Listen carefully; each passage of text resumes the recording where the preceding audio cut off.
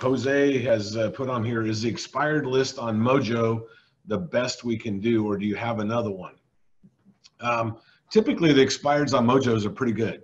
There are other lead sources uh, that um, uh, Blair recommends that's that's in the pipeline.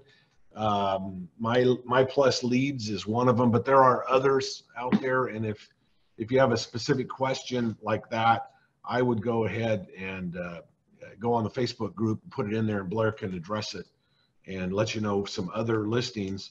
Um, I, as you guys all know, I've been doing this thing 20 years, and so I don't do. We just literally uh, with the Facebook ads have started doing you know outbound marketing, but I haven't done any outbound marketing myself for years. Uh, there's no need. After you've done as many deals as I've done over the years, you have all the referral based business you need.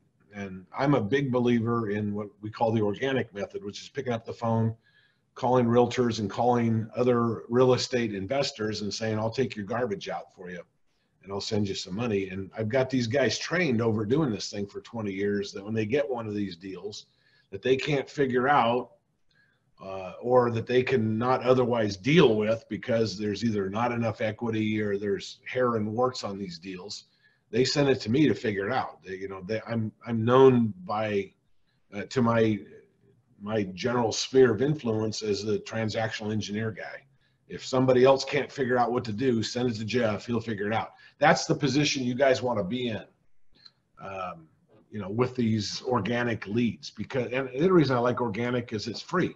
I mean, it's my time, my phone, and that's it. I, that's all there is to it. So um, I like that. But you know, I'm uh, like I said, we just started running uh, Facebook ads and had a tremendous response. I don't even know how many we've had, but uh, it's you know several dozen in not even 48 hours yet.